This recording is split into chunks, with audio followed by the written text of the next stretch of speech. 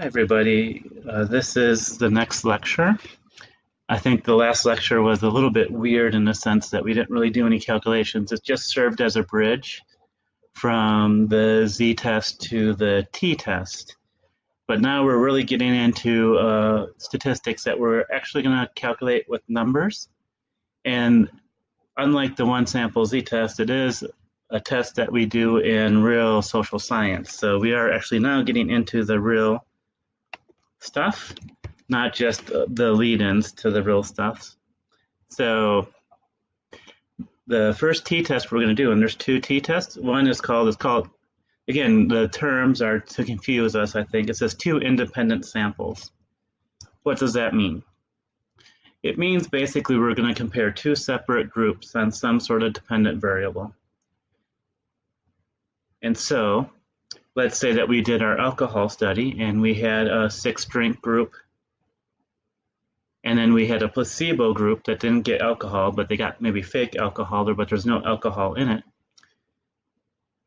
And those people are separate people. So either you're in the six drink group or you're in the placebo group. And then we're going to compare those two separate groups to see if they differ on attraction ratings. And so that's what independent samples means. You're comparing two separate groups of people. And just using a term that we had for our research basics, this is called between subjects. Between subjects, just as a reminder, is a fancy way of saying everybody in your study gets just one level of your IV. So they either get the six drinks or they get the placebo condition. They don't get both. And so when you do that, and there's only two groups, two groups of people, they're separate, they're different people. Nobody belongs in more than one group. You're either in the six drink group or the placebo group. The appropriate statistic is independent t-test. Sometimes we just say independent t-test. I will call that but the long name to confuse you is t-test for two independent samples. Why do they say two independent samples? Because the assumption is that there's two separate groups, the drinks group versus the placebo group, and you're comparing them, and they're independent because the only thing that should differ between those two groups is that level of alcohol, six drinks versus no drinks, or no alcohol. Okay, let's continue and actually get into this. So we're actually going to do real numbers this time, and we're going to see how things really work with actual data. So I just talked about it there. So again, between subjects, each person in your study gets just one level of the IV. They either get the six drinks or placebo condition. And that's an independent t-test. Our next lecture is going to deal with a condition on the bottom where you have within subjects design, where everybody gets all levels, but if it's a t-test, it's going to be just two levels, because t-test compares just two things.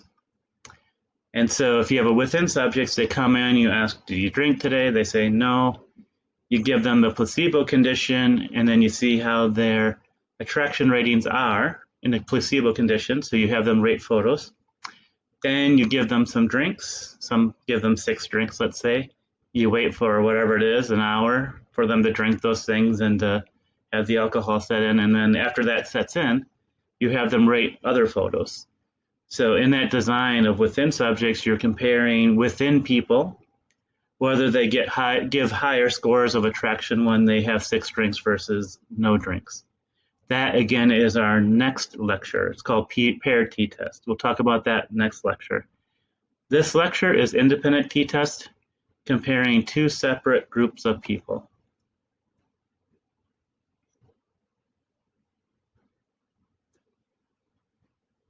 And this is why they call it independent. So, and this is a thing that we need to sort of realize is that this type of design considers that there's two populations. So it's not just one population, say I'm just going to grab people.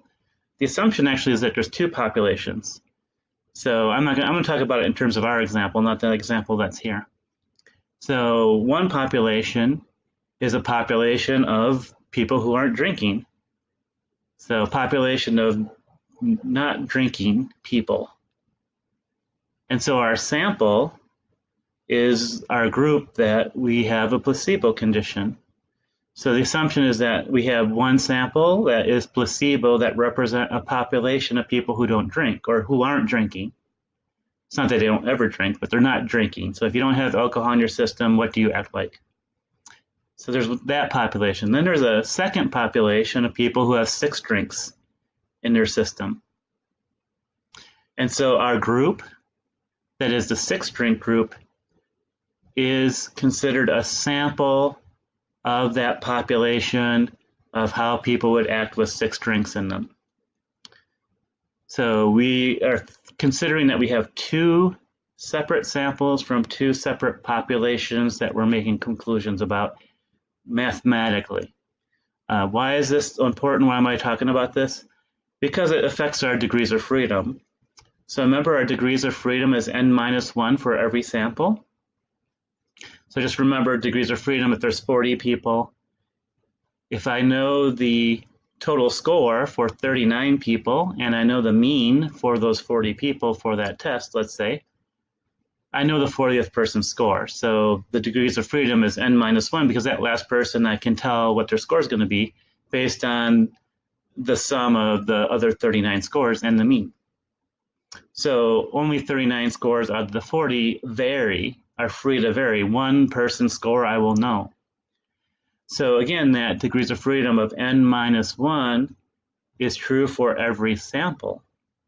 So again, with this design, we have two samples. We have a sample of people who aren't drinking at the moment. How are they going to act? Their degrees of freedom for that group, so that group of our placebo group has a degrees of freedom of n minus 1. The number of people in that group minus 1. We also have a separate sample from a separate population of six drinker, six drink group. I hope I didn't flip flop that, but uh, so we have the placebo group, no drinking, and then the six drink group. So the six drink group, they're representing the population of human beings, how they act if they have six drinks. That's a separate sample. So we also have to get the degrees of freedom n minus one from them. How many people are in that group minus one for degrees of freedom? And to get the degrees of freedom for our whole study then is that we have to add those two together. So the degrees of freedom n minus one for the placebo group, the degrees of freedom for the six drink group n minus one, and add those two together to get our degrees of freedom for our study. Again, if you're if you didn't quite follow that, we're going to have actual numbers with two examples later that it will show you in very concrete uh, ways how that's done in terms of degrees of freedom. So we've already talked about this.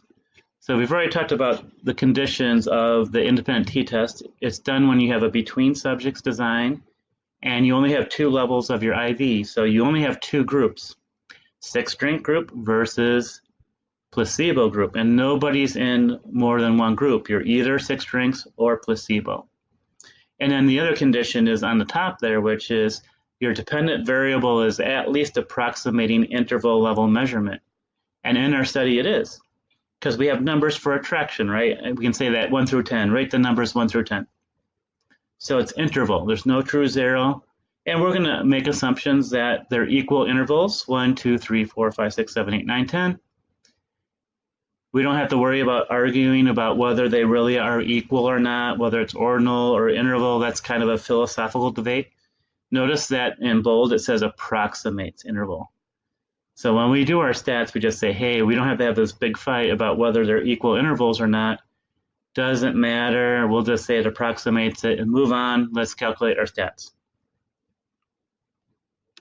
So what I just talked about was with an IV. You can also have this with a PV. So let's say that you want to study shyness. You could create two groups. You could measure shyness in any way that you want, but it could be a questionnaire and then you find the median. And then you say the people above the median are high on shyness. The people who are below the median are low on shyness.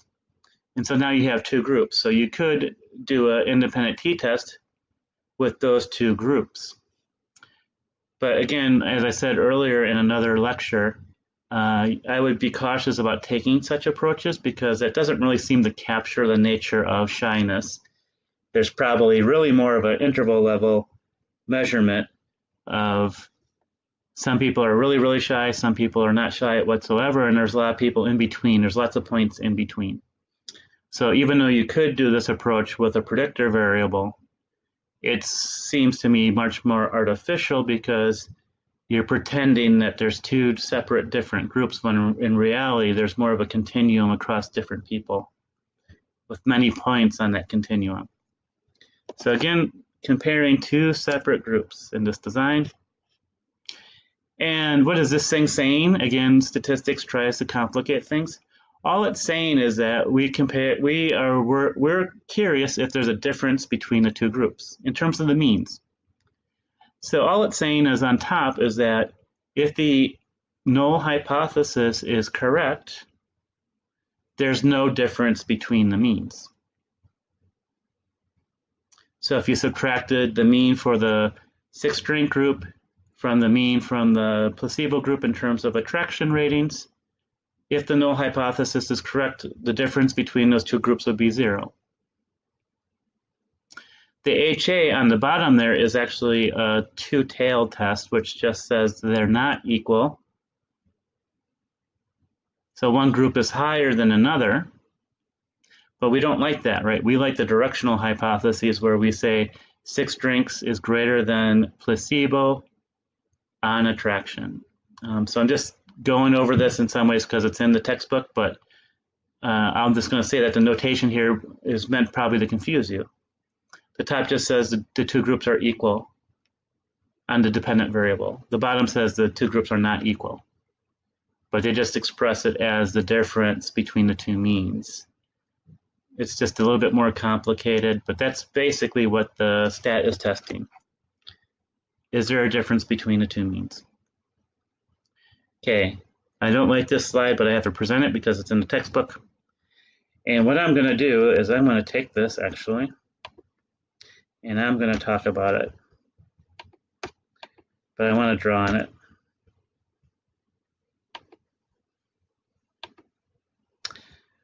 This is not the real formula. I'm going to give you the real formula later. This really is sort of a mathematical formula. So I don't like this, but I need to present this because it's in the textbook. This part of the formula really doesn't exist. See what I just circled? Why doesn't this exist? Because if the HO is true, the difference between these two means would be zero. So again, if the HO is true, the difference between these two means would be zero. And given that this part of the formula really doesn't exist. Also, we don't know what the population mean is. So this is just another effort by textbook writers and, and teachers of math and statistics to confuse you. The formula is just this. And we had this in the last lecture. The formula is just simply what's the difference between two means? So for group number one, their mean minus the mean for group number two over the standard error. What's the standard error? So remember the standard error, and this says the standard error between the difference between two means. So that's what that just means. I'm okay if you just write SE, that's fine with me, but really officially what it is, it's the standard error in terms of the difference between these two means. But still standard error, nonetheless. So the standard error is conceptually, we're going to get into the formula in a second. Conceptually, remember standard error was this little thing we had talked about previously. So remember standard error was the standard deviation divided by the square root of n. So that's the t-test formula that we had been talking about in the last lecture. So this slide is a little bit confusing. I just wanted to unconfuse people because it is in a textbook. The only little caveat that we're going to do, we're going to look at the formulas later, so I don't want to put the full formula up here because we have it later, is we have two we have two groups or we have two samples. So remember, we're comparing two groups. We have, for example, like a six drink group and a placebo group. So we have two groups. We so we actually have to do this twice. So this whole thing about standard deviation divided by the square root of n, we have to do that for each group because each group has a standard deviation and each group has a sample size n. So this thing is the same thing. So again, this concept is really easy. It's the square root, or I'm sorry, this is the S standard deviation over the square root of n. That's what it is conceptually. The formula for this for the independent t-test will look a little bit confusing because we have to do this twice. So we have to do this twice and then add them together for the two groups. So we would add this together for the two groups. But this thing is the same. This concept is the same for two groups. It's just that it's going to be like you have double vision. You're going to have twice the amount of syllables, syllables, twice the amount of symbols, but they are saying this exact thing that we've been talking about for a while since the one sample z. Standard deviation divided by the square root of n, that's the standard error. It's just that we have to do this twice. We have to do this thing for each of the groups, each of the two groups. Then we're going to add that together for the two groups. So I'm trying to demystify the formulas.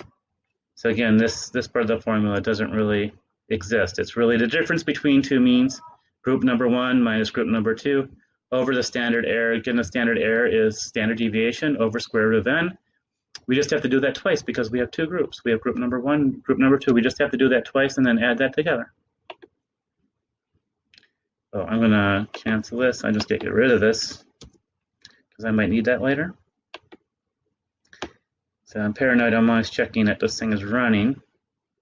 My fear is that it will go off and it won't tell me, and then I'm just babbling for an hour, and then nothing will record. So remember, I said there's a formula for the standard error, and all we're doing is we're, we're repeating standard deviation divided by the square root of n twice. This is what this is saying. So for our standard error, when we're looking at a difference between two means, that's what it's saying, is we have to do that twice. We have to take the standard deviation divided by the square root of n twice. Well, why doesn't say why didn't say square root here? Well, we have two groups, so we throw the square root across both groups.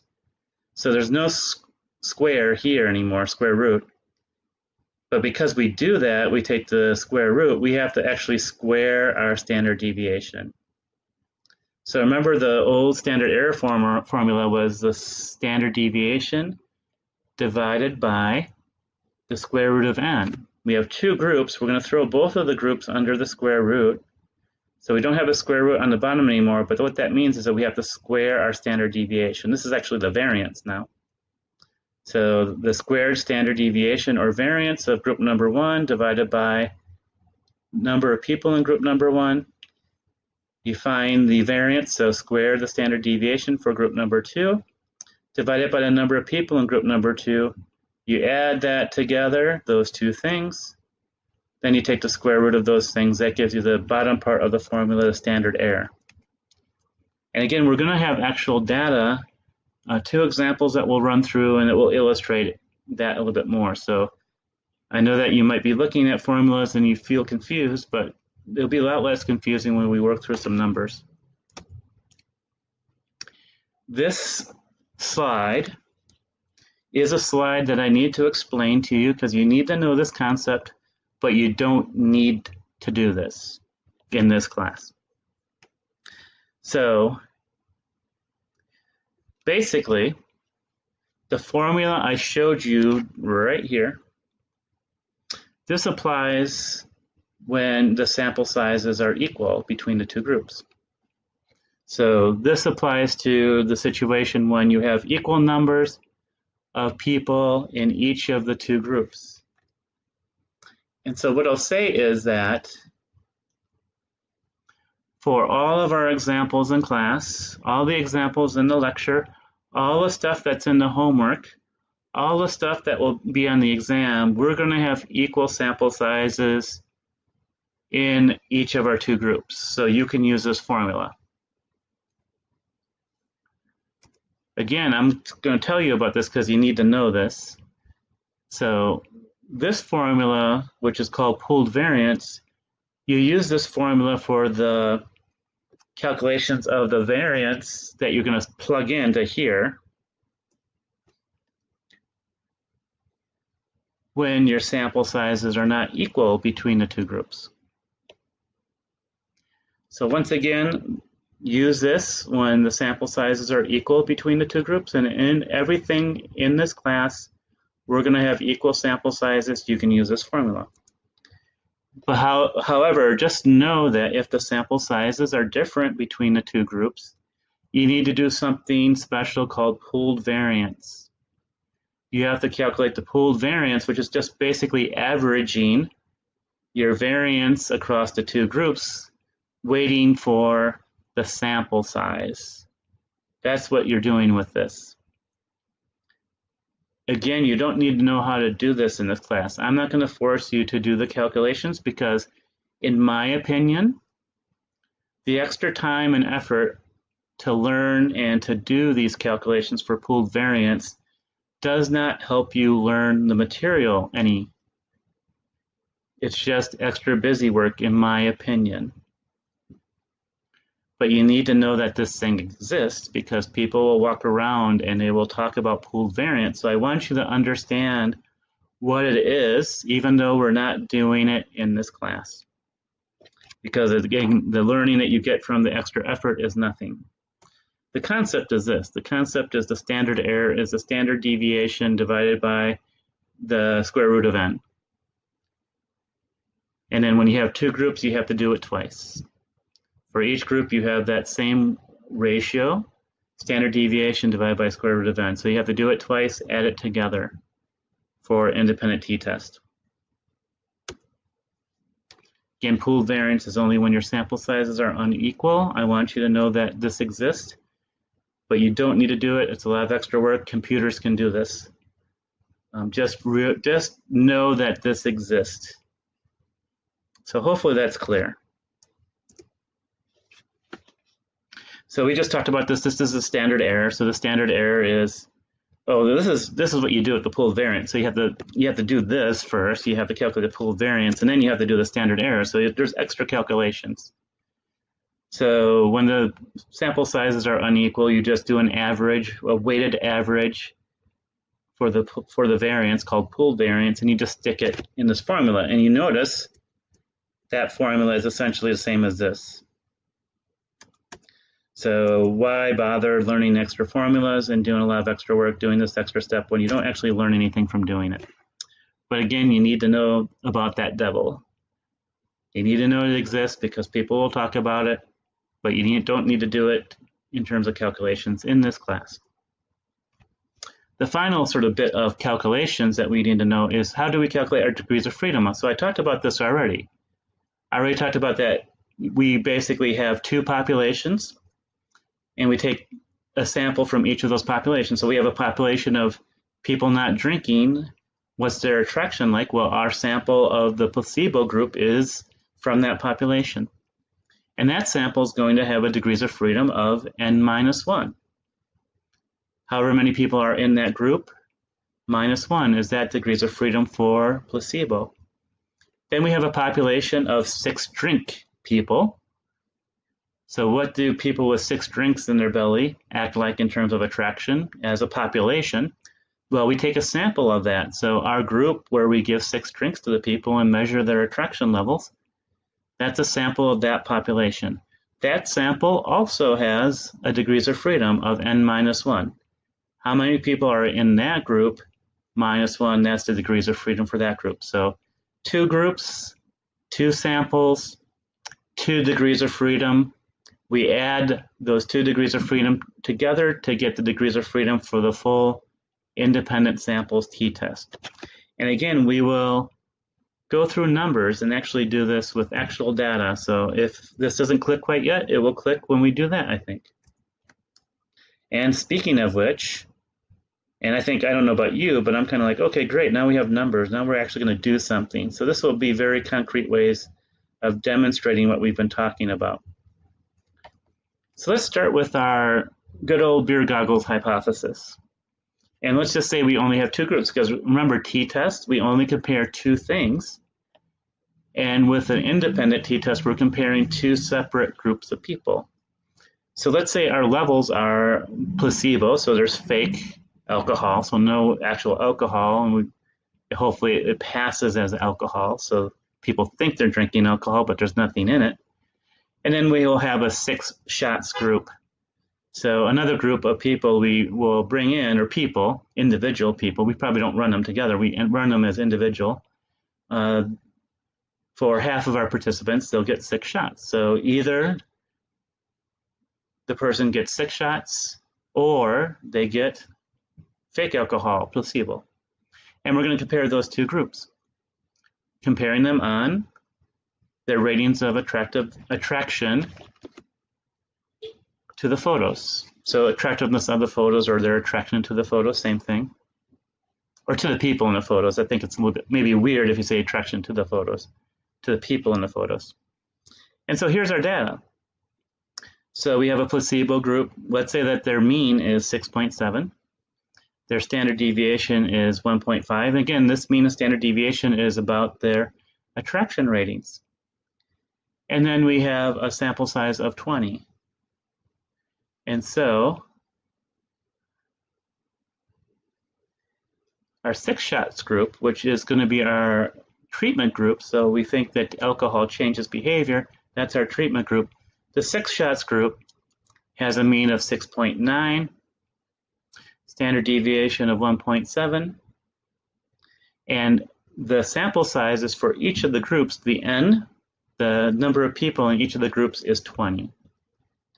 And so I'm going to take you through the process of doing an independent t-test with these data. And I'm going to take you through the whole process of hypothesis testing. So there's those five steps we're supposed to do. I'm going to take you through those steps. Oh, I have it here. So table B2 is the t-test table in your textbook if you want to use that, or you can use this table, which I cited in the last lecture, I believe. Yep. I'm going to save that, this table right here. That's what it looks like when it's close up. This table, the t-test table. So you're free to use this one for free online. And so I'm going to take you through this process. Oh, I'm saving it, so I have to wait a little bit because there's some pictures here. Oh, there we go. So step number one, remember, step number one is state our hypotheses. We have two types of hypotheses. We have the alternative hypothesis and the null.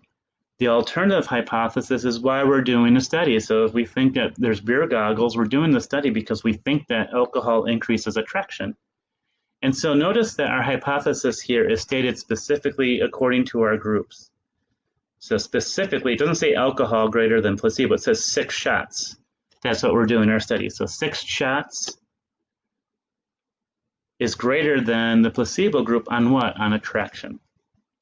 So you can write this if you want, but this is the pithiest, the simplest way of writing a hypothesis the six shots group greater than the placebo group on what? On the DV of attraction.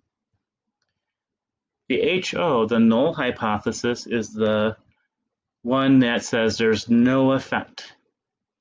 Oops, and I see I made a mistake. That's pretty bad.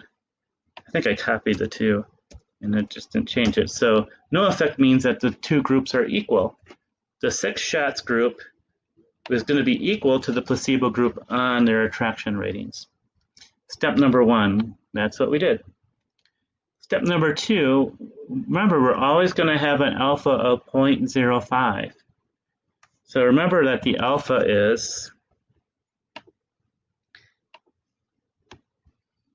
the percent of us making a type 1 error where we say there's some effect, but there really isn't one. And we know this because we know that our we have distributions like this, and this can be a t distribution. Remember, the t distribution has kind of the same shape as a as a z, so it doesn't really matter whether it's a z or a t. Doesn't matter because there's just going to be this little area here where 5% of the scores are. So remember our old z tables, and it will say that 5% of the scores are here because most of the scores are in the middle and there's fewer on the extremes. And so what we're saying is that our placebo group is here. Our treatment group better have a mean over here in this area where there's less than a 5% chance just by luck that they would be there. It's an unlikely possibility. So given that there's an unlikely possibility, there's only a 5% luck chance that you would have a mean so high over there above the placebo mean, then we have kind of a 95% confidence that something's actually going on. So there's actually probably something going on because it's not likely to get a mean that high. That's what our alpha is, is that 5% chance.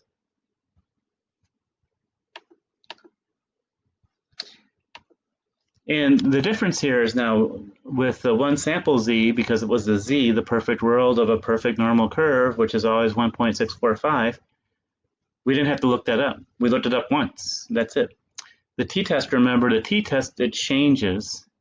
The critical value changes with the sample size, the number of pieces of information that we make our estimates on, so the degrees of freedom, because that's sample size minus one and again, remember from the last lecture, the larger your sample size, the closer it is to the mean. You're kind of not that far to the right.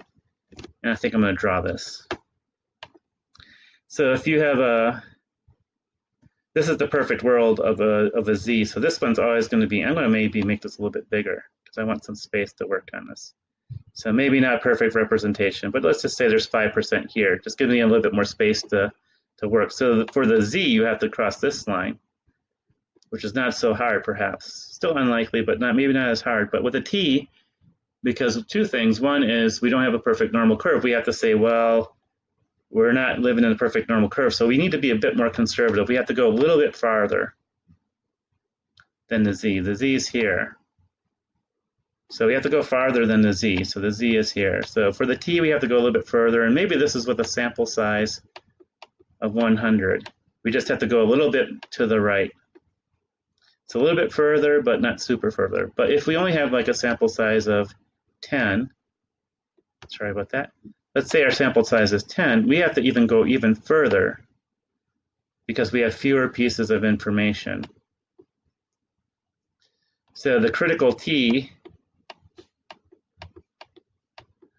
is going to have to be higher for fewer pieces of information because fewer pieces of information we're not sure we're not as confident so our our mean for a treatment better be even further away for us to say yes something's actually going there even though we only have 10 pieces of information going on or nine in this case um, and so our critical t has to increase as our sample size decreases so as the sample size decreases, the critical T increases. So that's what our table's for. Our table is to actually help us know exactly what that line is that we have to cross for our T. Because if we calculate, just like the one sample Z, if we calculate a number that's greater than the critical value from the table, then we reject the HO. If the thing that we calculate from our formulas in terms of our t here, if it's lower than the critical value, then we haven't crossed the line. We're too close to the mean of the placebo group. So we can't say there's a difference. We can't say there's an effect of the IV. And so this is what we're doing here. And I'm going to go into this a little bit more. Okay, so remember our degrees of freedom. So we have two groups. Each group has degrees of freedom of n minus 1. So every sample, every group has n minus 1. So remember, we said there's 20 people in each group, so there's n equals 20. That's for each group. So group number 1, degrees of freedom is 20 minus 1. Then we have to add group number 2's degrees of freedom, which is also 20 minus 1. So then we have 19 plus 19. So our degrees of freedom for the study is 38. So now we know our degrees of freedom. We can find our critical value for the t. So remember, we're going to stick with the one tail test. So we're going to stick with this line. And this is our alpha. Our alpha is 0.05. Remember 0.05, there's a 5% chance of a type 1 error. There's only a 5% chance you would have a mean for their treatment group that would be so far from the placebo group that it, there's only a 5% luck you would get a mean so high. So therefore, we're 95% sure there's an effect of our IV of alcohol. So we use this column right here, this one right here. And remember, our degrees of freedom was 38. So we have to go down. I'm going to have to do it like this. I have to go down even further. Sorry about that. Yeah, so I hope you can see this. And I think I'm going to maybe snip this because I'm starting to fear that you might not see that very well. And I'm going to just take that little column that we need. I'm going to expand it. And by the way, while we're here, uh, never mind. oh yeah, it's actually here. But forget that. I'm, I'm not going to get into that. I don't want to complicate things. So remember, we're going to do the one tail. So nice thing is I can circle one tail, and we're going to use the alpha. So this is our alpha. We can live with a 5% chance of making a type 1 error. So that's our alpha that we set. So now, all we have to do is go down that column to 38. So let's do that. Notice we don't have 38. We have 40 here, and then we have 30. Use 30. So the rule is if your degrees of freedom is not on the table, use the next lowest. Why next lowest? Because remember that it's easier to find something with more degrees of freedom. So you don't want to go to the higher one because it's more likely to make a type 1 error because you've just decreased the critical value for the t so if you just notice, and I'll, I'll zoom this, our critical values for the t go down with our degrees of freedom go up. So the degrees of freedom are going up, right? As we go down here, higher degrees of freedom. If we look at the critical t, the critical t shrinks as we get more degrees of freedom, as we get more pieces of information to make our estimates about. So we don't want to go to the next highest one because that next highest one is going to have a lower critical value, it's going to have a line that's actually closer to the mean of the placebo group, to the middle, than it should be. And that increases our possibility of making a type 1 error, saying there's something going on, there's an effect when there really isn't one. We don't want that. We want we need to be conservative in statistics. So we go to the next lowest, which is 30 in this case, 40 and 30, 38, so we go to 30. So we go down here, this is our number. I think I'm going to expand that. See, see what I've done? So this line, this column, alpha 0.05, use that one, find, in this case, 30 degrees of freedom, it's that number.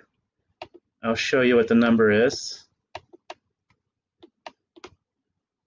Hope you can see it. It's 1.697 we are going to round our t's, all our statistics, to the second decimal place. So I'm going to round this up to 1.70. So our critical t is 1.70.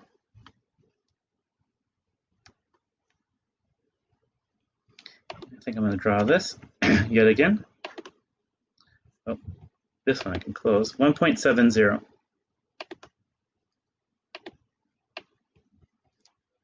So this is our t distribution. And so shaped like this, da da da. And we have an alpha 0.05.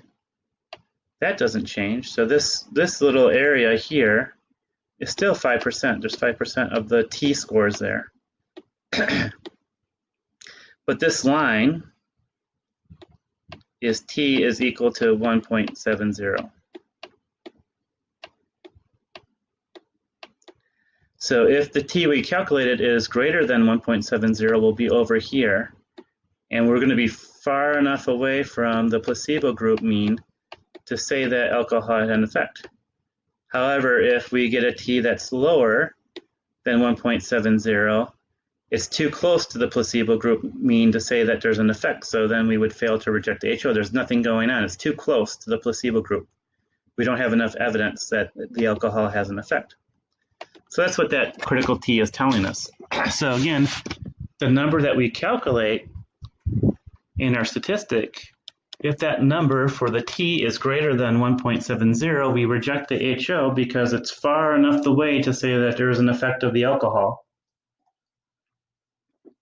However, if the T we calculate is lower than the critical value, then we say that there is no effect for the alcohol, at least no evidence of that, because the mean is too close. The mean of the treatment group is too close to the placebo group. It doesn't look like it's big enough to say there's a difference. So that's what the critical value is for. So step number three in hypothesis testing is we calculate our statistics. So here's the formula.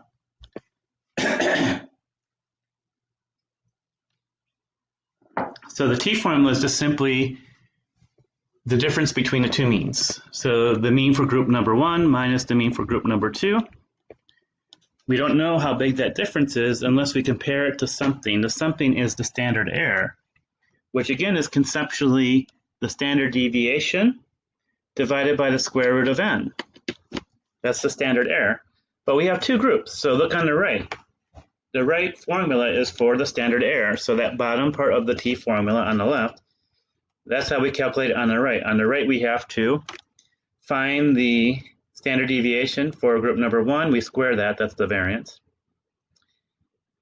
Divide that by the number of people in group number one. And then it's not like that we're doing anything different. We're just doing the same thing for group number two. We're going to take the standard deviation, we're going to square that for group number two. We're going to divide it by the number of people in group number two. So although this looks complicated, there's you know a bunch of symbols there. We're just doing the same thing twice. We're just doing the standard deviation, or I should say variance, because standard deviation squared divided by n for the two groups, and we add that together, and then we have to take the square root. Don't, don't forget the square root. So we used to have the standard deviation divided by the square root of n. We have two groups, so we throw the square root over everything, and we just have to square the standard deviation on top. That's the only difference. So again, this might look complicated, but just like everything in our stats class is, it's just like a recipe. Just go step by step, and this is what I'm going to show you. I'm going to do the bottom part first. so this is a complicated thing here of having to do this. So let's just do that one first. It's not really complicated. It's just putting the pieces together. So I'm just going to take the data. So remember, right here, look right here. So standard deviation for the six shots group. And by the way, in this whole thing, group number one, I'm going to put as the six shots. And group number two, I'm going to put as the placebo. Well, why am I doing that? because that's the direction of my hypothesis. My hypothesis is that the six shot group should be higher than the placebo group. So I like to put it in that direction for the t-test because the t-test will be positive if my HA, my alternative hypothesis is true. I like to do it that way. I like to have the group that I think is going to be higher first as group number one, the one that's lower as group number two, because I'll come up with a positive t-test. I like doing it that way. It just makes it simpler to interpret things. However, if you flip it, it won't make a difference except you're going to end up with a negative t if your alternative hypothesis is correct. So I think there's just a little bit more work to sort of say negative is positive. Negative is a good thing for my HA, so I don't really like that. I just like to keep it in the direction. So group number one in my numbers is the six shots. Group number two is the placebo. So here's our numbers. The six shots group has a standard deviation of 1.7. Remember, there's 20 people. And then the placebo group has 1.5 as a standard deviation and 20 as the sample size also for them. So I'm going to plug those numbers in there. So I have my formulas. So the standard deviation for group number one is 1.7. There's 20 people there. Don't forget to square it. The standard deviation for group number two is 1.5. Don't forget to square that, divide that by 20, number of people in that group. So remember your order of operations. Order of operations, square the things first. So square 1.7, that's 2.89. Square 1.5, that's 2.25. Order of operations. Divide these things first before adding them. 289 divided by 20 is 0.1445. 2.25 divided by 20 is 0.1125. Now we have those two things, order of operations, add these together. So add those two together is 2.5, I'm sorry, 0.257. Take the square root of that number, you're going to end up with 0.507. So our standard error is 0.507. So hopefully, even though it might look like, oh, it's complicated, it's just doing all your steps. Just put in the standard deviation for the six shot group. Put the standard deviation for the placebo group. Number of people in the six shot.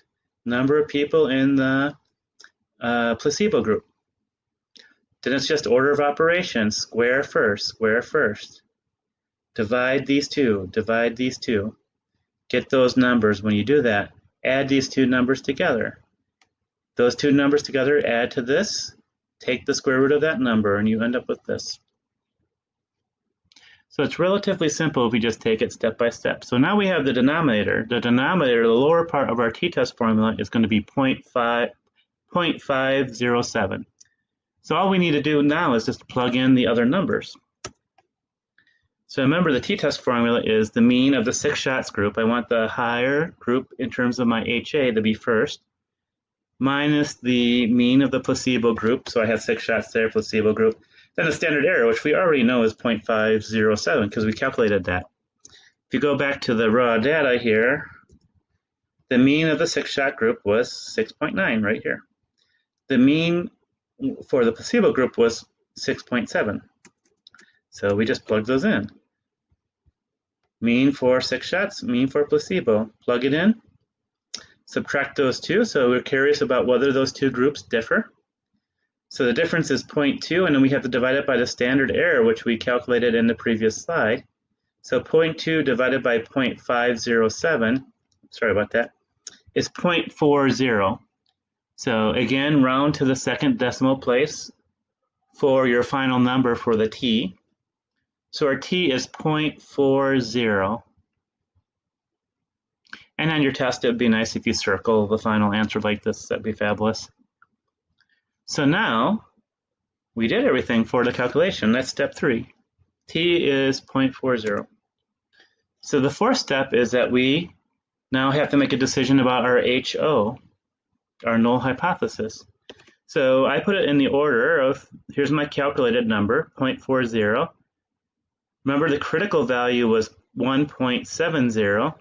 Well, 0.40 is less than 1.70. So we fail to reject the HO. So there's no evidence of an effect here. So again, if what we calculated is less than the critical value, we fail to reject the HO, which means there's no effect, at least no evidence of an effect. So it's 0.40. So remember our line was 1.70. So a t of 0.40 is probably like here, I'm guessing. So what we found was a 0.40. So it's not very far from the placebo group mean. So this little, even though we're greater than, even though there is a higher number in terms of the mean, in terms of attraction, it's not far enough to say that that's unlikely. It's it's very likely due to chance. There's a lot of there's still a lot of numbers here. There's a lot of people around here. So it could just be definitely due to random chance to have just a slightly bigger number for our treatment group. So we're over here. We didn't cross this line. So we failed to reject the HO. There's no evidence of effect. We're not, we don't have a big difference here between our two groups. And so then we write it up. Step number five. So the main sentence is the everyday language. The main sentence is the six shots group did not differ from the placebo group, and I made a mistake on attraction attraction ratings. And I caught that because the thing I wrote it a little bit differently for another example. So, so this main sentence again is the six shots group did not differ from the placebo group on attraction ratings. So remember that sort of everyday language thing is we have two things. Say what your two groups are. There's a six shots group and a placebo group. Well, say what your DV is. So what did you compare those two groups on? Well, I compared them on attraction ratings. Then the question is, did they differ? Well, here they did not differ. So state your two groups, six shots, placebo. State what you're comparing them on in terms of the DV, attraction ratings, and state whether they differ or not. Well, in this case, they did not differ. And then we just put in parentheses, for each group, we want to give their mean and standard deviation. So this is the mean for the six-shot group. Whoops. And this is the standard deviation for them. This is the mean for the placebo group. This is the mean for, uh, sorry, the standard deviation for the placebo group. So for each group, give the descriptives of mean and standard deviation. This group mean standard deviation, but put them in parentheses. Parentheses is just the little details if people want them, but still there's a sentence there. The sentence is still six shots group did not differ from placebo group on attraction ratings. And then the final part is we give our numbers. So little comma tells the reader, here comes the stats. So we say what our stat is. Our stat was a t-test. You notice that there's a parentheses right there. There's no space here. In the parentheses is our degrees of freedom. So our reader will see what our stat was based on in terms of the number of pieces of information. Number of pieces of information, degrees of freedom was 38 for this study or for the statistic, I should say. You might have studies that have uh, multiple t-tests in it, for example. Then we just say equals. This is the number we calculated. The number we calculated was 0.40. Then the final thing that we do here in this sentence is we have another comma. We give the result of our null hypothesis decision. So if we say n, if we say ns, ns means not significant. What does that mean? That means there's no difference between my groups. There's no effect of the IV of alcohol.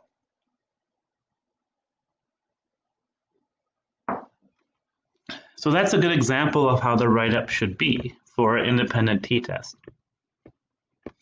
And this basic structure is the same structure we're going to be using for all of our other statistics in the course. And so let's do another example, but I want you to work this out on your own, and then I will run through the answers. So let's say we have a study, and this all this stuff is actually based on studies that have actually been done. Uh, although I, I, tend to do a lot of attraction studies because I think they might be kind of interesting in general to people. Um, so uh, there's this theory called misattribution of arousal, and it basically says that um, in terms of any emotion, uh, emotion is based on uh, physiological arousal in general, and the idea is that your physiological arousal is the same regardless of the emotion you're feeling. So whether you're scared or in love or angry or sad, your body is reacting in the same way. Your heart rate goes up, your pupils dilate, your blood pressure goes up. Um, so the, the physiological arousal is the same. Uh, the difference is the psychological label you put on your emotion. So the, this theory of emotion is that emotion comes from uh, having a high physiological arousal, and what emotion you're actually feeling depends on how you label it. Label that arousal.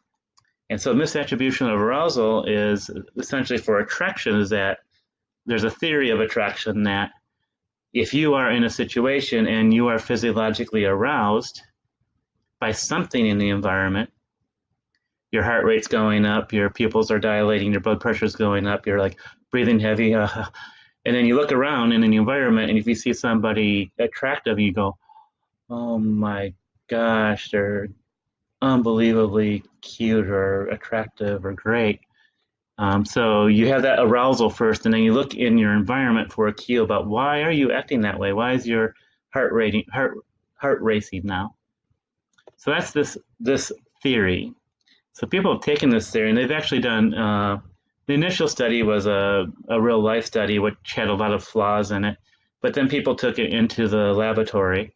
Um, and so basically, what they do is they have people do something that is um, physiologically arousing uh, and the uh, study that I think that this has done, I don't know, don't know if they've done adrenaline. Sometimes they do adrenaline.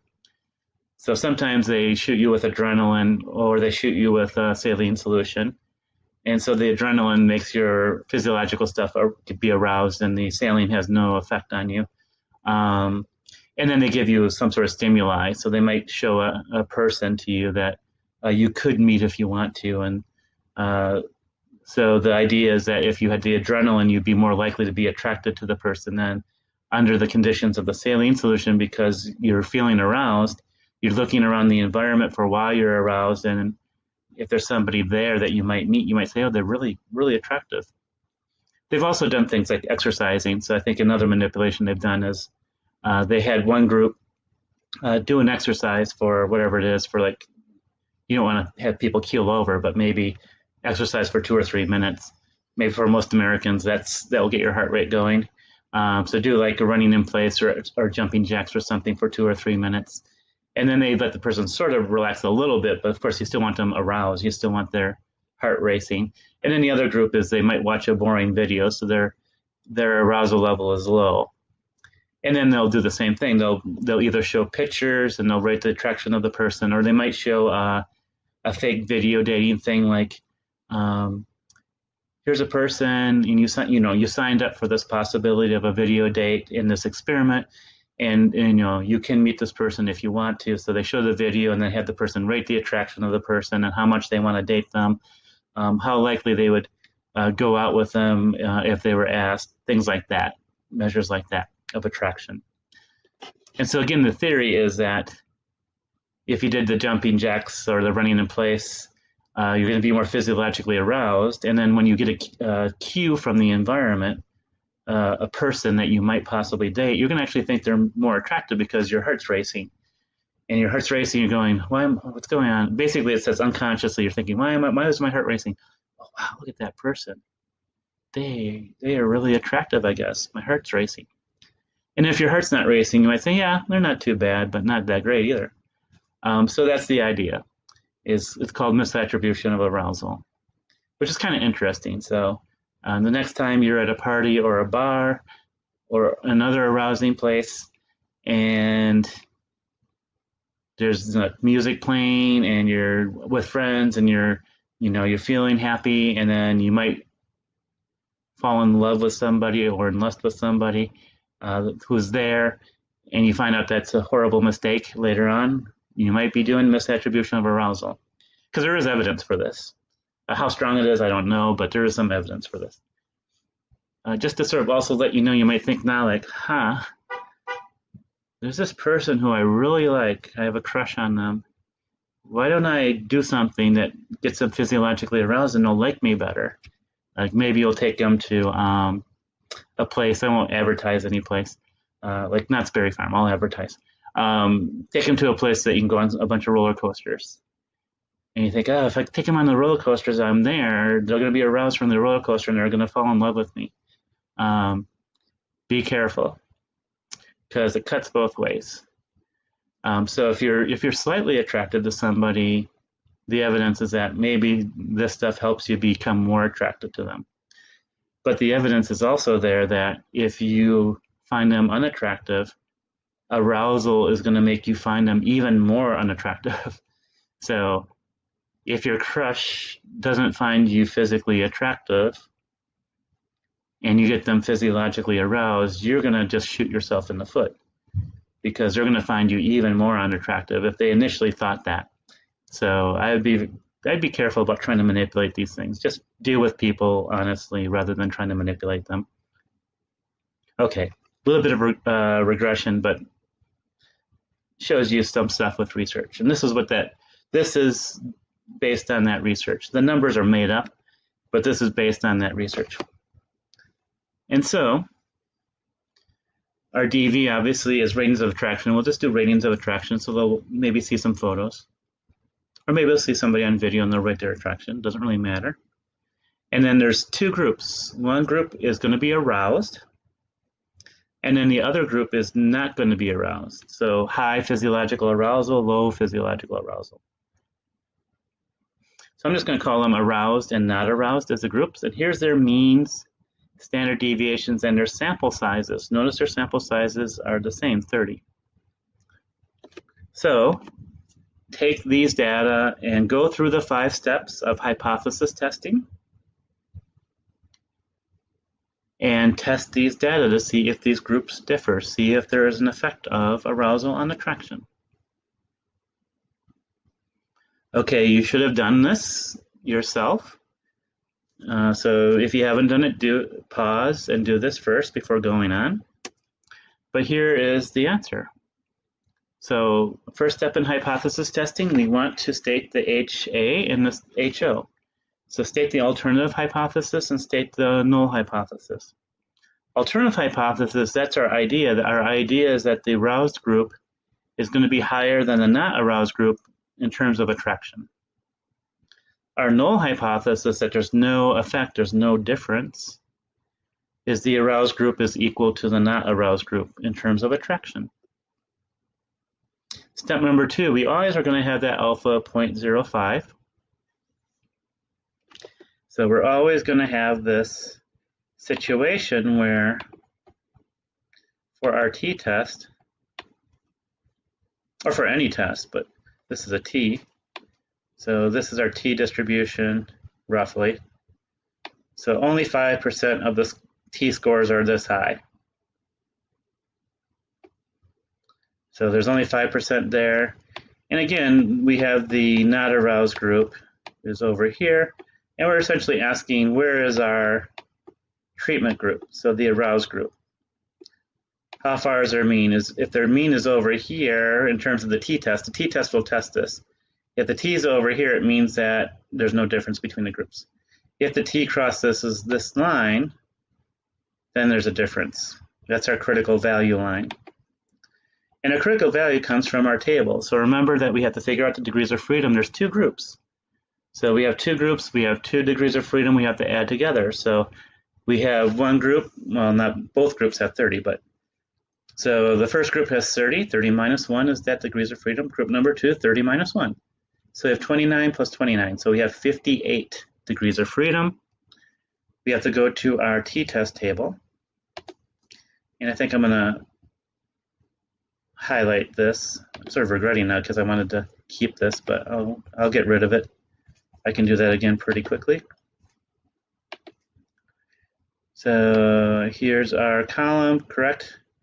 One tail, 0.05. And I don't, know if, I don't know how big I can make it. Not very big. I, don't even can make it that big. Barely. So we have our one tail. So we have want the top line, and we want the 0.05. That's our alpha right there. And all we have to find is our degrees of freedom now, which was 58. We go down here, we see there's 60. We can't use 60, which is probably good because I can't write on that. So we can't use 60 because that's too high. We have to go to the next lowest. The next lowest is 40. So we have to use 40, and it's this number right here. That's 1.684. Remember we round, so it's okay to round, well, we should actually round up. It should be 1.69. Oh, let me look at that. Yeah, it should be 1.69. I should change this. 1.69. So 1.69 is our critical value because we have to use 40. That's the next one lowest. And why am I rounding down? because remember, we want to be conservative. We don't want to push the line this direction. We don't want to push the line closer to the mean of the placebo. We want the line to be further away. So I'm going to round it up to 1.69. So if you made a mistake on that, that's no big deal. Uh, that's what we're going to do. I'm going to change this because I know that this is wrong. So 1.69 is our critical value. Let me double check that. 1.69 doesn't change, even if I look many times. And so let's go back. So our critical value is 1.69. So I'm just going to recall what we just did before that I had to close. Is here's our t-distribution. And we're looking for that 5% area right here. There's only 5% of the t-scores over here. So this is our, our alpha 0.05. And the t, the critical t, that line we have to cross is 1.69.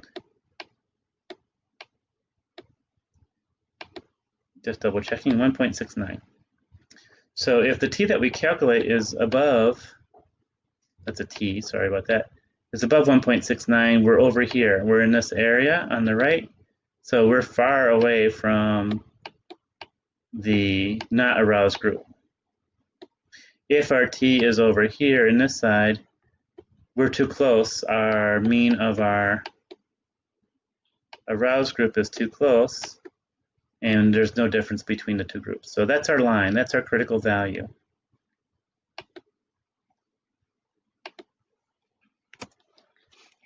So here's our formulas again. We reviewed that in the first example. So I think it's better to go out, go and figure out the standard error first because that's the one on the bottom. We have to do some things there first, so we'll do that first. So standard error is the standard deviation of group number one divided by their sample size plus the standard deviation for group number two divided by their sample size. But remember, we have to square the standard deviation, so we're going to use variance because all this stuff is under the square root. So the standard deviation for our aroused group was 2.1. The standard deviation for our not aroused group was 1.7, and there was 30 in each of the groups. So order of operations square. So 2.1 squared is this. 1.7 squared is that. Order of operations, divide these two numbers before you add them together. These two numbers divided is 0.147. These two numbers, divide them, 0.0963. And then you add those two numbers together. Add those two numbers together, it's 0.2433. You take the square root of that number. So our standard error is 0.4933. So our standard error is 0.4933, and we just plug it into the bottom of the t-test formula. T-test formula is standard errors on the bottom. So we just calculated 0.4933, it's there. So now all we do is plug in the mean for aroused and the not aroused. Mean for the aroused group was 15.8. The mean for the non-aroused group is 12.1. The difference between those two groups means is 3.7. Sorry about that, 3.7. So we take that mean difference between the two groups, 3.7 divided by the standard error, 0.4933. Our t is 7.50. Again, round to the second decimal place. So it's nice if you circle it, that's fine. If you're a little bit off, let's say you got 747 or 753 or something like that, essentially if you're within a few one hundredths of a point, it's probably rounding error. And I know it's rounding error. Uh, generally, if you have more than a whole number off, an integer off, so if you're, you know, in the if you're in the sixes, if you're in the eights, I start wondering that uh, if you did it right. Um, so if you're a little bit off, don't worry, it's probably a rounding error. Uh, you or I or both. Um, but if you're off by more than one number, one whole number, even like a half of a a number, like 0.5 off, I, I start wondering if you're if you plug things in wrong or you calculated wrong. So 7.50 is the T we calculated. Now we go to step four. We make a decision about our HO. The T we calculated is 7.50. Our critical value, that line we have to cross is 1.69. We are way above that. So our calculated value of 7.50 is greater than the t from the table that gives us the critical value, the line to cross, which is 1.69. So therefore we reject the HO. There's some evidence for an effect. So our t was actually 7, 7.5, which is probably way over here somewhere. Probably very unlikely. So our t was actually way over here. We were well above this line for 1.69. So this is really unlikely it's really unlikely to have a t that shows a difference between our mean of the arousal group versus the mean of the not arousal group to be so far so different, so big in terms of the t. So here we reject the HO because we've crossed this line.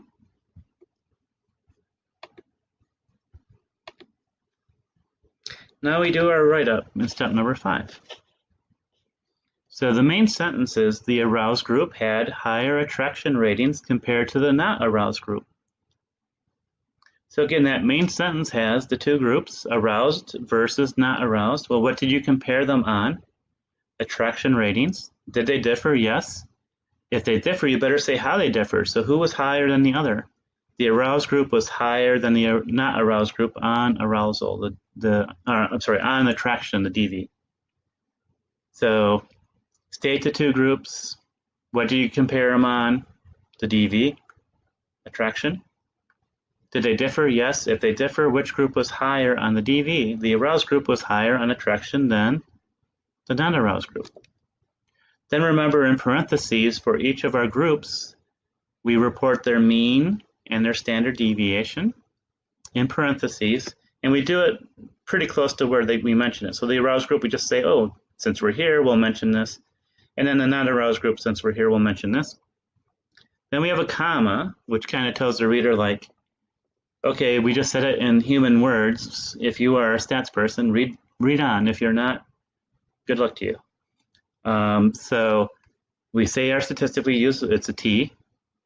We have in parentheses degrees of freedom. The degrees of freedom for our study was 58. The T we calculated is 7.50. We report that here. If we reject our, and so we have a comma, and then we say what our decision about the HO was. If we rejected the HO, there is a difference. We already said to the people that there is a difference between those two groups. So if we reject the HO, we say P is less than 0.05, which we're telling the reader is there's less than a 5% chance that I made a mistake here, a type 1 error. So there's less than a 5% chance that I'm telling you something exists, there's a difference between these two groups, and there really isn't one. So I'm 95% sure there's something going on. So that's it. So hopefully that that really helps to have numbers to all these formulas, I think. So this was a t-test. We actually are going to calculate two more things for these examples. We're going to do effect size, and we're going to do confidence intervals before we go. So just to ask you uh, what will lead to a significant value for the independent t. When it says significant value, it means you're going to reject the HO. So what's going to be the conditions that it's more likely you're going to find an effect? You're going to have a bigger t than the critical t. So look at this question, pause, and answer it. Well, the answer is there's a big mean difference. So remember the top of the t formula is the difference between the two group means. And obviously, if the top, the numerator, is larger, you have a bigger difference between the group means, you're more likely going to find a t that's significant.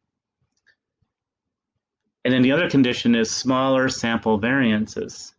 So remember, we talked about this before. So the, the variability, the variance, standard deviation, that stuff is on the bottom of the t-test formula. That's the denominator. So the higher the denominator is, the bigger, I'm sorry, the higher the denominator is, the smaller the t-test will be. So your standard error relies a lot on your variance. So if your variance is big, your standard error is going to be big. Your t is going to be smaller. If your uh, if your variance is smaller, your standard error is going to be smaller. Your your Your uh, prediction is going to be better. That's going to your prediction's better. You make less errors. You're going to have a larger t. You're going to be more likely to say confidently there's a difference between the two means.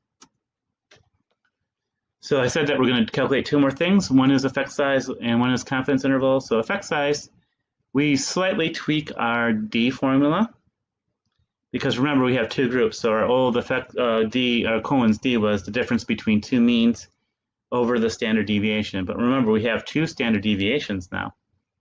So the Cohen's D formula is the difference between two means, and doesn't matter what mean one and mean two is. I'm going to use it. I'm going to stick with the first one being the arousal. I'm sorry, the arousal or the uh, alcohol group because that's the one that we thought was going to be higher. And then the second one, the second number in that formula, I'm going to have be the placebo group or the not aroused group, which is a control group. And on the bottom, we're going to take this the variance, so the standard deviation squared for each of the two groups. We're going to add that first. We're going to take that sum, divide it by 2, and we're going to take the square root. So that's our formula for Cohen's d. I think a much easier formula is the r squared, which is telling us the percent of variance explained, which we'll talk about this specifically with numbers we'll get. So remember, r squared is t squared over t squared plus degrees of freedom. Pretty easy.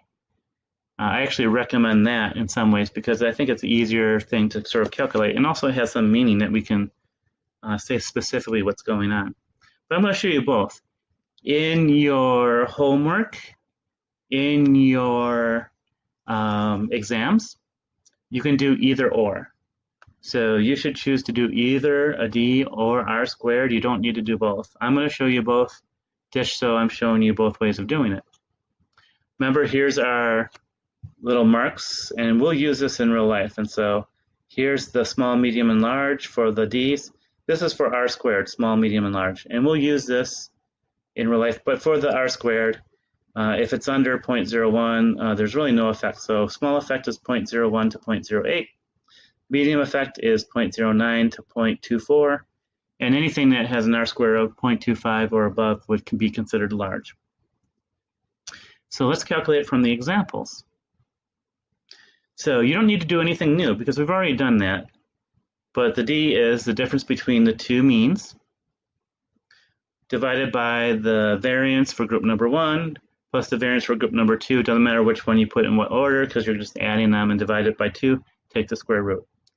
So remember the mean of our alcohol group, our six shots group was 6.9. The mean of the placebo group was 6.7. And then we got, I'm sorry about this. Um, so we have uh, a standard deviation of 1.7 for the alcohol group, the six shots. We have to square that. Our standard deviation for the placebo group was 1.5. We have to square that. We'll divide that by 2, take the square root. So the above is really easy. It's 0.2. So if you square 1.7 and square 1.5 and you add those two numbers together, it's 5.14. You have to take 5.14 and divide it by 2 and then take the square root of it. So I kind of feel like I should show you what's going on.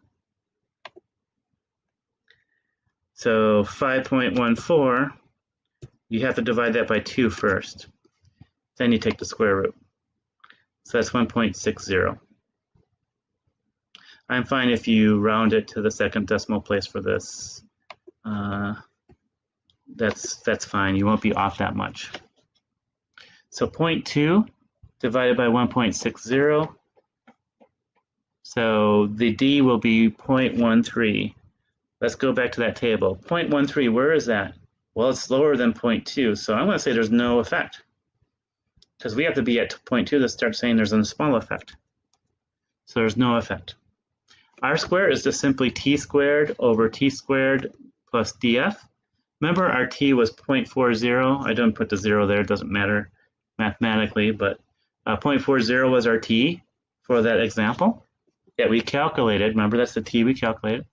So we simply take 0.4 squared over 0.4 squared plus degrees of freedom. Degrees of freedom was 38. So on the top we have 0.16, and on the bottom we have 38.16. So divide those two numbers, and actually it comes out to zero. So go back to our table. On the bottom there, it says our r squared has to be at least 0.01 to say it's small. So there's no effect. And actually, it makes some sense. So now I can actually give you a number. What does 0.00 mean in terms of r squared?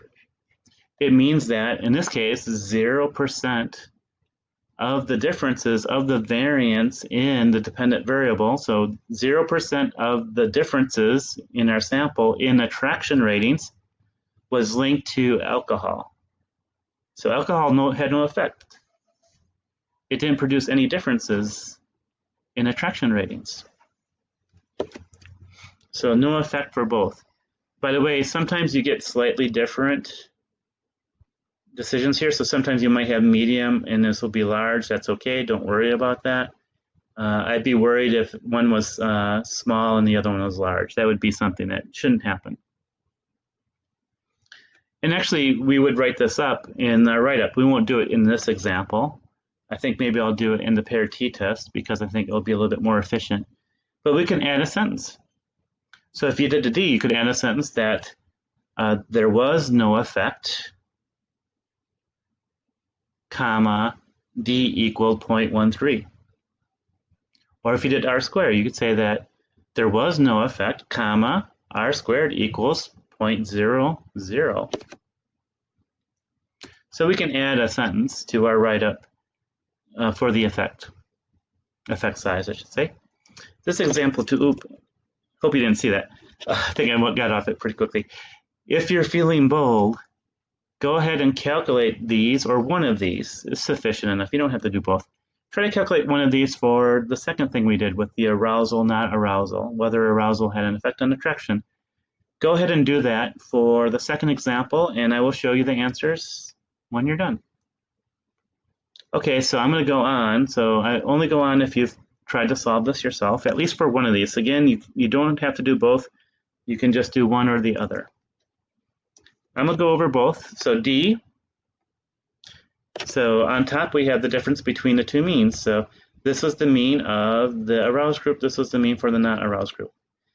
2.1 was the standard deviation for the aroused group. 1.7 was the standard deviation for the non-aroused group. You can flip them. It won't matter for mathematical reasons. I just want to be consistent. Make sure you square those standard deviations. And then after you square them, you're going to uh, add them together and you can divide by 2. So on top, the difference between our two means was 3.7. On the bottom, if we take 2.1 squared, and then we take 1.7 squared, and we add those two together, we get 7.3. So if we take 7.3, and I'm going to probably have to calculate this. I want to keep that on all one line, so that's kind of why I have it like that. So if we take 7.3, divide it by 2, and then we take the square root, we get 1.91. So see right there, 1.91, and I'll expand it. So 1.91 is the denominator. And so take 3.7 divided by 1.91. We get a D that's 1.94. Let's go back to our table. 1.94 is well above this mark, so it's going to be a large effect. We're above the 0.8 mark. And the thing about 0.8 is large. So it's a large effect. So if you did the D, you could add that sentence. You could add a sentence that says, the effect size was large comma, D equals 1.94. Again, with our, all our stats, we'll round to the second decimal place for the final answer there. Okay, if you did r squared, it should look like this. So remember, r squared is t squared divided by t squared plus degrees of freedom. So remember, our t for that, that we calculated for that problem, was 7.50. So it's 7.5 squared divided by 7.5 squared plus 58. That was our degrees of freedom for that study. So 7.5 squared is 56.25. 56.25 plus 58 is 114.25. If we take those two numbers and divide them, we get uh, r squared of 0.49. So we could add a sentence. The effect size was large, comma, r squared equals 0.49. What does that number mean? The D is a little bit harder to interpret unless you kind of really know statistics well. It, it means something, but it's a little bit more complicated. R squared, it's pretty simple. What that is telling us is that 49% of the variance, so our R squared is 0.49, 49% of our variance in the attraction ratings in that study was directly linked to arousal. So whether you were aroused or not aroused. So almost half of the differences in people's attraction to somebody else was directly linked to arousal. That's a lot. I mean, if you really got this in real life, this is something that you should jump up and down about because this would be rare to have such a large percent of people's behavior explained by one factor. So that's the effect size. So I hope this kind of makes it a little bit more concrete. And then the thing that we had in last lecture that was really, really sort of tough to talk about conceptually, we're going to do now, which is confidence intervals. So conceptually, it's a little bit difficult to understand, but when we have numbers, it becomes a lot easier. And when we have actually a study to talk about, it's a lot easier. So the formula for the confidence interval is this you're going to subtract the two means. So remember, that's the big thing. So for the t-test and for the confidence interval, the big thing is, well, what's the difference between the two means? So what's the difference between group number one minus the group number two? And then what you do is you plus and minus. There's a t. The t comes from the table, and I'm going to show you this. The t is not the one you calculate. The t is from the table. And then you multiply that t from the table with the standard error. The standard error comes from your calculations. So once you multiply these two numbers together, all you simply to take this difference, you subtract this, and you have to add this. And I know that might be a bit vague now, so let's actually look at some data in a second. I still have to show you one thing. So the t in this formula again, and ignore the first part. The first part is just saying that we're estimating the population. So this thing doesn't really exist. We really just care about this part of the formula after the equal sign. So the t is not what you calculate. T comes from the table. Why? Because we're doing some sort of probability estimation. And so if we're doing probability estimation, we, we need to use those tables. We don't do a calculation of that. We do the tables. And the other issue I want to sort of tell you about is that the confidence interval is two-tail. So we need to use the two-tail table, uh, or at least two-tail column in this case. And what I'm going to show you is how do you get that. And I think I need my, we need, I need my Z table. I'm going to have to pause you for a second. Okay, I'm back. I'm going to show you how to do this, but I'm not going to go to the Z table. I could do it on the Z table, but it's going to be a little bit more confusing for you. I can actually show you on the T table uh, where I'm going to get this number from. But remember, we have to do a two-tail because we're going in both directions because we have a plus and minus in an interval. So we have to do something slightly different. And uh, I want to, I'm going to have to think about whether I can actually snip this. I'm going to have to snip this and show you two different parts of it because this table is so big. But in this case, we're going to use something different for our column than what we've been using, but I actually have to expand it, so that's not really great news. Um, actually, I'm going to re-snip that because there's something nice on the bottom. I don't know if I can adjust this. I can. So sorry about this. Let me re-snip this. The column we want is there, and we're going to go all the way down to here. Okay. So I can't show you everything at once. So I'm going to have to show you piece by piece. So remember with confidence interval, because we have that plus or minus that goes up and down, we actually now are going to use two tails just for the confidence interval. And the thing is, once I give you this number, you use this number all the time. I'm just showing you where the number comes from. So um, if you want to tune out a little bit, that's fine. I'm just going to show you where the number comes from. We want to use two tail. And we are going to use the alpha 0.05y Because we're going to use a 95% confidence interval all the time. So 95% confidence interval translates to an alpha of 0.05. And so I have to take you down. Whoops, I don't know if I can go down after I start typing. Um, so I'm going to use this last column. So just remember that last column. And that's why I just I just showed you why right there. Let me erase all this ink. I think I cannot go down. Give me a second here. Sorry about this. I'm going to un unexpand. I think I cannot go down once I expand, but I'm going to go down first and then I'm going to expand for you.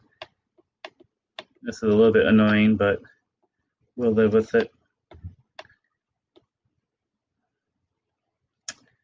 And I'm going to expand this a little bit. So remember we're in the last column. Look way down here. This is easier. You can do it from the Z you can do it from the Z table, but it's much more difficult. So remember that we want a 95% confidence interval. We talked about that. So 95% confidence interval, here is the number we want, 1.96. So it comes from this table. So if we're doing a two-tail test with a 0.05 alpha, our z at that alpha for a two-tail test is 1.96. So this is where the number comes from.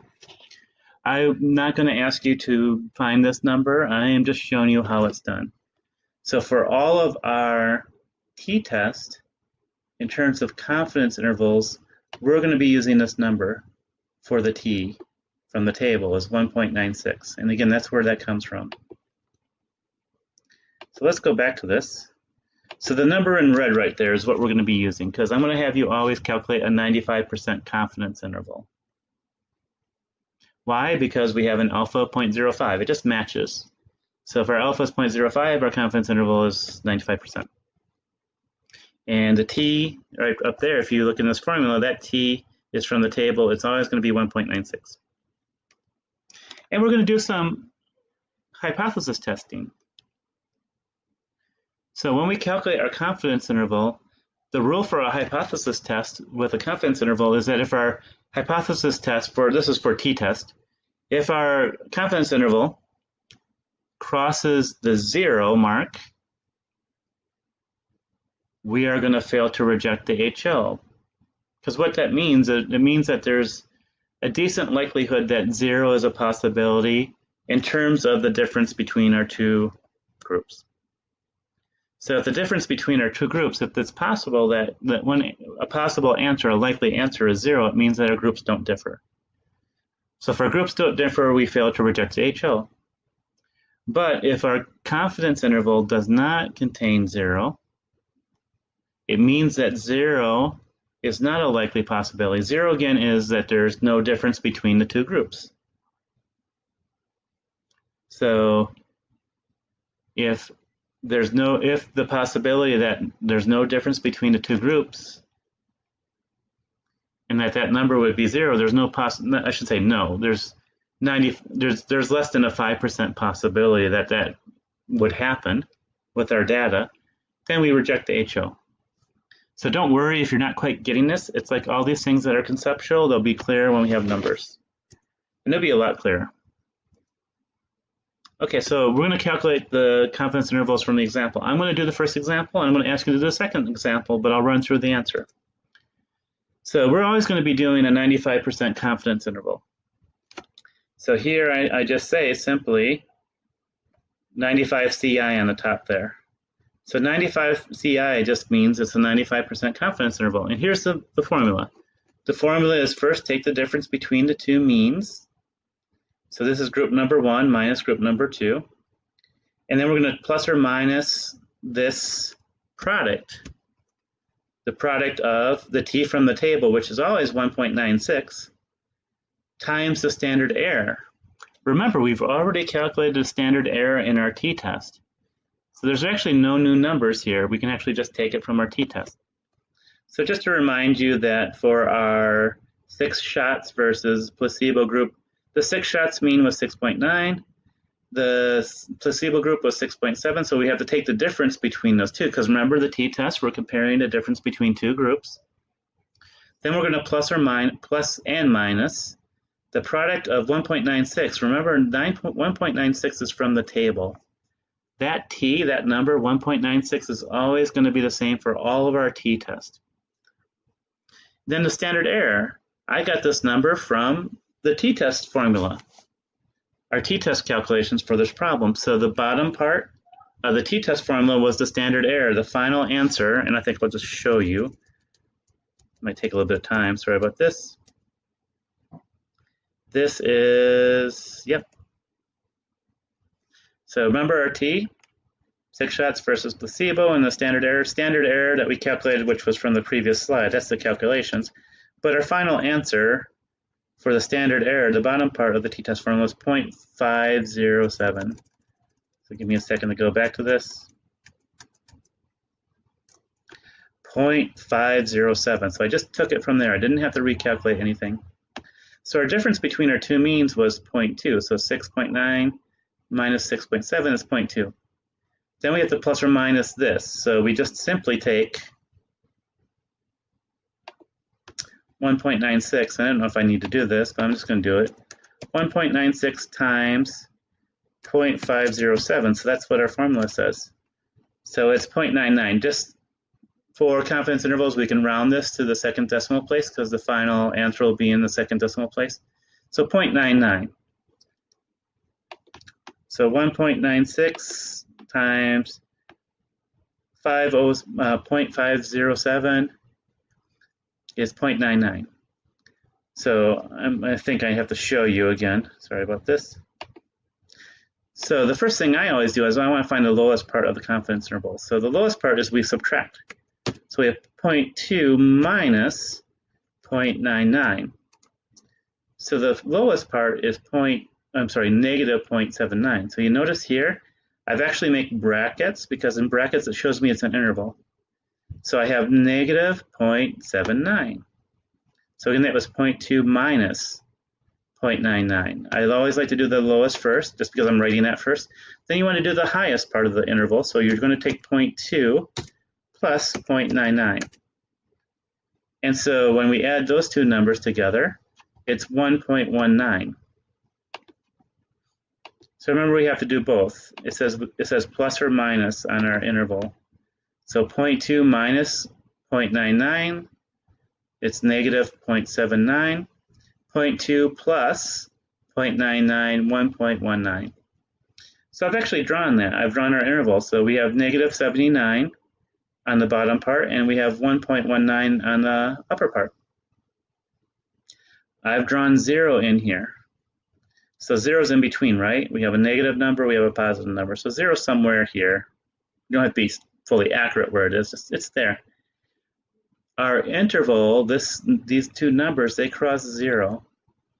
What does crossing zero mean? Crossing zero means that there is a fairly high likelihood that zero is a possibility for our interval. The interval is this, the difference between the two means. If the difference between our two means is zero, it means that these are equal. So if there's a mean of 9 here and a mean of 9 here, it's a 0. The difference is 0. So if we have a difference that's 0, it means that there's no difference between our two groups. It means that the IV had no effect.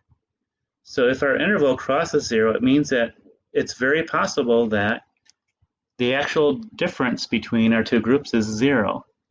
If that's the case, then we fail to reject the HO. There's no effect we don't have any evidence of an effect. So that's how we can do a hypothesis test with confidence interval. So go ahead and do the second example. Do the arousal, not arousal example. Calculate the confidence interval. It's a 95% confidence interval. We won't change that. So calculate that, and then in the end, do a hypothesis test with the numbers you get. So go ahead and do it. Pause right now, and I will show you the answers in a bit. So you should have done this already for the second example. I'm going to go to the next slide. I'm going to show the answer. Same formula. We're going to take the difference between the two means, the difference between the aroused group mean, not aroused group mean. We're going to plus and minus the product of the t from the table from the uh, times the standard error, which came from our t-test calculations from before. So remember the mean of the aroused group was 15.8. The mean for non-aroused was 12.1. And then we're going to plus or minus the t from the table, which was 1.96. And then we're going to do the standard error. The standard error came from the calculation of our t before. This was the bottom part of our t, 0.4933. So the difference between our two means was 3.7, and then we have to plus or minus 0.97. Again, 0.97 is from multiplying 1.96. We're always going to have that. That's our t. Doesn't change for our t-test for confidence intervals, times the standard error. And remember to round up to the second decimal place because we're reporting our confidence intervals in terms of two decimal places. So it's 0.97. So we have 0.97 here. So we have to do th two things. We have to subtract these numbers, we have to add these numbers. I like to subtract first, it gives me the lowest number. The lowest number is 3.7. That's our difference between the two means. Subtract the 0.97. So our lowest number is 2.73. So again, I made the brackets to kind of show it's an interval. 2.73 is the lowest number, so when I take 3.7 minus 0.97, that's the number. Then we also have to add. So the difference between the two means is 3.7. Then we can add 0.97. The upper, upper part of our interval is 4.67. So our interval is, our confidence interval is 2.73 to 4.67. That's how you write it. You put brackets around it and you have a little comma between the two numbers. And then I've drawn it in terms of our hypothesis tests. And by the way, i am going to talk about the hypothesis test first in a, in, a, in a little bit. You can actually report this too. So you could have another sentence. So you can add another sentence after your effect size. You could say that the 95% CI, you could say, say 95 CI, that'd be fine with me. The 95 CI was bracket 2.73 comma 4.67 end of brackets period. So you can just have a simple sentence reporting the confidence interval in our write-up. Okay, let's get to the hypothesis test. So I drew. So our lower point is 2.73. Our upper point is 4.67. So that's our confidence interval right there in a photo. Where's the zero? Well, the zero is over here. Did we cross zero? No, we did not. So we did not cross zero. What does that mean? It means that at least 95% sure that zero is not a possibility for the difference between our two means. The difference between the mean for the arousal and not arousal, zero is not really likely. It's not a likely possibility. So zero is not a likely possibility. It means that there's a difference. So if there's a difference, we reject the HO. So if your confidence interval does not cross the zero, you reject the HO because it means that zero is not likely. Zero means there's no difference, so it means that a difference is likely. So we reject the HO. And you just notice that we make the same decision. Our confidence interval hypothesis test was exactly the same decision about the HO as our t-test that we did before. Okay, we're pretty much done. I'm just going to run through the last slides, which are the assumptions, which we talked about before. So the, the observations within each sample must be independent. That, that basically means that, again, your research design is good. Uh, so your aroused group and your not aroused group, they weren't treated any differently except that the IV differed. One was not aroused, one was aroused. That's the only thing that could affect the DV. So it just means that there's nothing else affecting the DV except for the IV, at least in terms of our statistical test. Two populations from the samples are uh, from which the samples are selected must be normal. So look, notice that the samples don't have to be normal in terms of distribution. The assumption is that the population is normal. And guess what? There's ways that we can't really test that actually because we don't know what the population is. We just kind of assume it. Then the final assumption that we're going to talk about here, at least on this slide, is the homogeneity of variance. It just means that the variance for the two groups are the roughly the same. So the variance in attraction ratings is roughly the same for the success group versus the placebo group. And I think they were relatively close. And then the same thing for the second experiment. So the variance in attraction ratings for the aroused group should be roughly around the same as the not aroused group. However, do remember that this homogeneity of variance is pretty robust. You have to have like four times a difference to actually affect your, your t-test decisions. Um, so homogeneity of variance is important. Uh, we aren't going to test that by hand, but there's ways that SPSS tests that, which you are going to do for a lab in a bit. Actually, I think I'd have you ignore it in the lab. So this just tells whether it's robust or not. I think I've talked about this a little bit. Um, the independent samples, which is that first one, is important. That's that in some ways both a method and a stats thing. So you don't want other variables affecting the DV because if it does, especially if it's a confound, it's going to throw off your study. It's not a very good study. And then two, um, your statistics are going to be wrong because there's something else sneaking around changing the variance in the dependent variable. That's not your IV. So you're going to make a wrong decision about your IV based on your stats. Uh, normality and homogeneity of variance, it's pretty, it's very robust. Um, and then for normality, it's really robust if you have uh, each group, you have a sample size of 40 and they're roughly equal, it's really robust. But the truth is, even with sample sizes for your two groups of 15, it's still going to be pretty robust. So normality is something that we talk about, but most of our stats are pretty robust in protecting against that violation. If you're not quite getting these assumptions, don't worry. Um, I don't go a lot about this in tests and things like that, but you're supposed to know this stuff. So I'm talking about it, but if you're feeling a little bit lost about this, that's fine. It's much better if you get the hands-on stuff about how to calculate the t, how to test the null hypothesis, how to write up the findings, how to do an effect size calculation, how to calculate the confidence interval, and how to make a judgment about the hypothesis test of a null hypothesis test for this, the confidence interval. That stuff's the more important. And homogeneity of variance is it's very robust also. They're more formal tests. You can see the book if you're really curious about them, but um, we have to talk about them just to let you know about them. But again, the important stuff is what I just talked about in terms of the hands-on stuff. So for this topic of independent t-test, there is actually a homework and a lab. Uh, so there is a little bit of work related to the independent t-test. And so there will be a video about the lab that will explain SPSS and how to interpret the SPSS output.